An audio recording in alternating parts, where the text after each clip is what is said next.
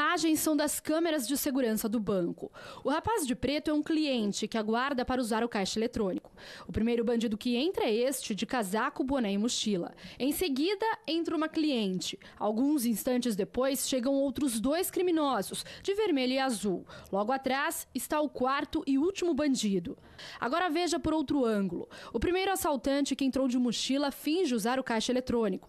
O de azul para trás, como se estivesse na fila. De repente, tira a arma da cintura e anuncia o assalto. O segurança saca a arma, reage e os dois trocam tiros. Note que a funcionária que está atrás do balcão abaixa a cabeça, enquanto um outro vigilante armado aparece. A jovem segura a perna com as mãos. Ela foi atingida e deixa a cadeira mancando.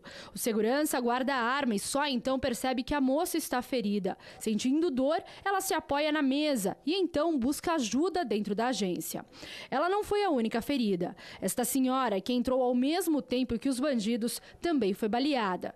Tudo foi muito rápido. A tentativa de assalto durou 30 segundos. Veja que assim que percebe os tiros, o rapaz que estava perto da porta corre para escapar dos disparos. Em seguida, os quatro bandidos fogem correndo. Imagens gravadas por câmeras instaladas na rua lateral ao banco mostram a movimentação dos bandidos antes do crime.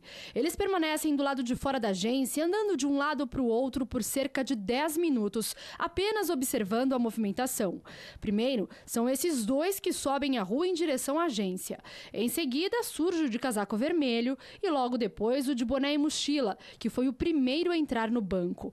A mesma câmera também registra a fuga da quadrilha após a troca de tiros.